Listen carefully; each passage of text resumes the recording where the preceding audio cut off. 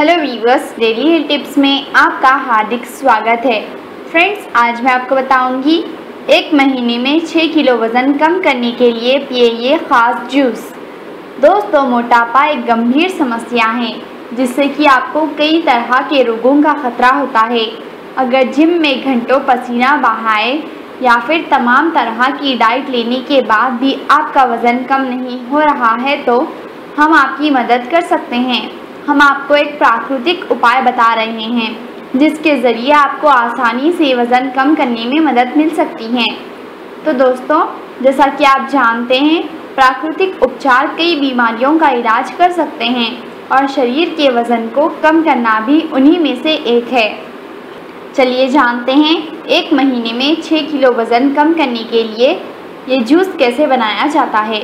आवश्यक सामग्री जो चाहिए वो है ताज़ा गाजर का जूस, आधा ग्लास, एप्पल पल्प, आधा ग्लास, अदरक का रस, एक चम्मच।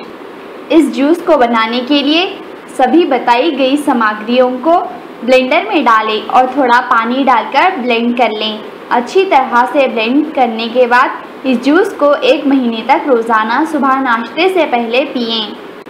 इस वीडियो को और आगे देखने से पहले अगर आपको हमारा वीडियो अच्छा लगा हो तो आप लाइक ज़रूर कीजिए। इस प्राकृतिक उपाय को रोज़ाना इस्तेमाल करने से आपको वज़न कम करने में मदद मिलती है। हालाँकि यदि आप चाहते हैं कि ये घर का बना रस जल्दी से काम करे तो आपको कुछ स्वस्थ जीवन शैली परिवर्तन भी करना चाहिए, जिससे कि वज़न घटाने में सहायता मिलती है। रोज़ाना कम से कम एक घंटा एक्सरसाइज करना और ऑयली फ़ूड से तौबा कर लेने से भी ये जूस वज़न घटाने में तेज़ी से मदद करता है। इसके अलावा ये जानने के लिए भी अपने डॉक्टर से बात करना महत्वपूर्ण है कि क्या आपको कुछ बीमारियों तो नहीं हैं, जो कि आपके वज़न का मूल कारण हो सकती हैं और उनका इलाज किया जाना चाहिए। दोस्तों, गाजर का रस, सेब का पल्प और अदरक का रस, ये संयोजन एक उत्कृष्ट औषधि है। ये चीज़ें विभिन्न यौगिकों से भरी हुई है। जो शरीर में फैट को तेज़ी से बर्न करती हैं।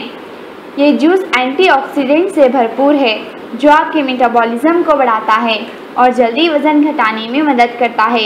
इसके अलावा इसमें फाइबर भी खूब होते हैं, जिनसे आपके फैट को शरीर से बाहर करने में मदद मिलती है। तो फ्रेंड्स आप इस जूस को पीकर एक महीने में छः किलो वज़न घटा सकते हैं। Thanks for watching this video please like share and subscribe our channel thank you bye